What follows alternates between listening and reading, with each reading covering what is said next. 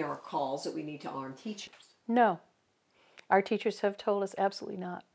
What we don't need are more guns. We need fewer guns. Our children are asking, put the guns down. They have said, You're shooting at us. Put the guns down.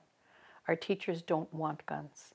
Um, we went through this, I believe there was enabling legislation, it was a year or two ago, and our, our own teacher organizations came to the school board and said, Please don't arm us. It's confusing. All we need is more bullets flying, and accidents happen. Our teachers want safe schools. They're there to teach children, not to be armed. In fact, the, the, we can trace stuff back to kids. Um, you know, the, on the one hand, technology is